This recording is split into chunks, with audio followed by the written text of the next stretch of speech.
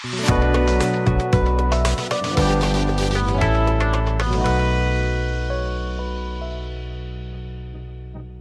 Bapak Ibu Saudara-saudara terkasih, bersama saya Imade Hani akan menyampaikan seputar informasi kegiatan di gereja kita.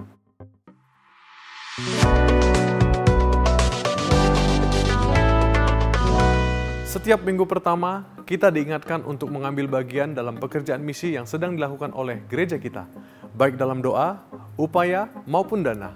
Apa pun bagian kita, marilah kita beri yang terbaik sehingga kabar baik boleh diberitakan sampai ke ujung-ujung bumi. Doa pengerja secara tatap muka atau onsite akan diadakan besok pada hari Senin tanggal 7 November 2022 pukul 19 WIB di GBI Rumah Persembahan. Bagi seluruh gembala cabang dan pengerja diwajibkan hadir dengan memakai badge pengerja serta mengisi daftar hadir di pintu masuk ruang Jaitun 1. Departemen Kesehatan GBI dan YSKI bekerja sama dengan PMI akan mengadakan kegiatan aksi donor darah pada hari Selasa tanggal 8 November 2022 pukul 9 sampai dengan 13 WIB di GBI Rumah Persembahan. Kegiatan ini terbuka untuk umum. Ayo donor darah, karena setetes darah kita nyawa bagi sesama.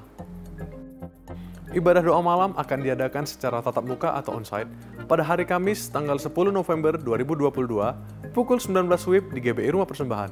Seluruh pengerja wajib mengikutinya dan terbuka juga untuk umum.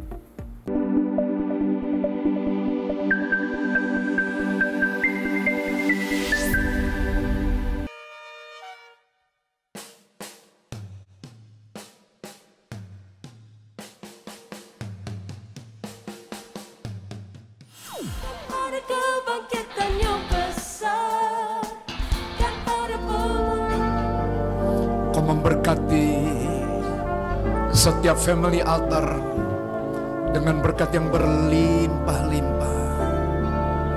Oh ya Tuhan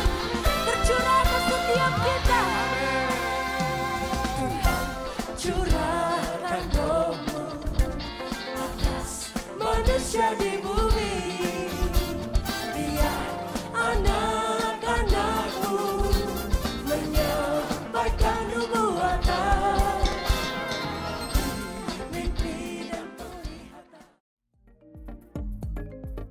Bagi Bapak Ibu, saudara-saudari yang baru bergabung di gereja ini atau yang sudah lama bergabung namun belum memiliki komunitas, mari bergabung dalam Family Altar, yaitu wadah perpanjangan tangan gembala dalam menyentuh dan menyapa jemaat supaya dapat bertumbuh dalam kesatuan hati, tumbuh bersama, dan menjadi sarana menjangkau jiwa sehingga terbentuk rumah doa-rumah doa di lingkungan kita.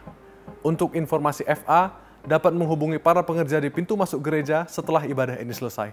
Ayo ber-FA! Kami sampaikan bahwa pelayanan doa, pastoral, konseling, atau informasi seputar pelayanan tetap ada 24 jam dan kami siap melayani Bapak Ibu dengan menghubungi call center gereja di nomor telepon 0811 6158 889 dan 0811 6171 122.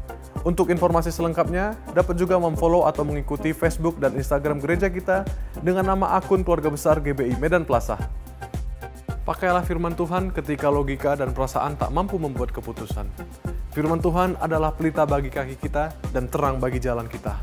Demikianlah warta tambahan yang dapat saya sampaikan. Selamat hari Minggu, selamat menikmati berkat Tuhan di sepanjang minggu ini. Tetap sehat, tetap kuat, Tuhan Yesus memberkati.